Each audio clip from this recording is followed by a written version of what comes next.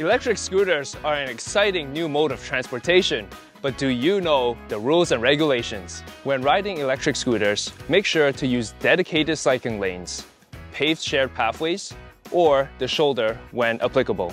And never ride on the sidewalks or on unpaved trails.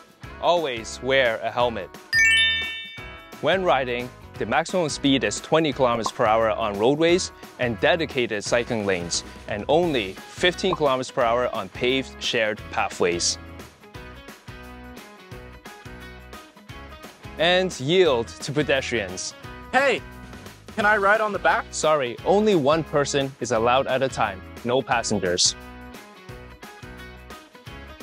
And you must be at least 16 years old to operate an e-scooter. Richmond RCMP will continue to be out there doing education and enforcement to help keep the public safe. Have fun on your e-scooter. Please ride safe and responsibly.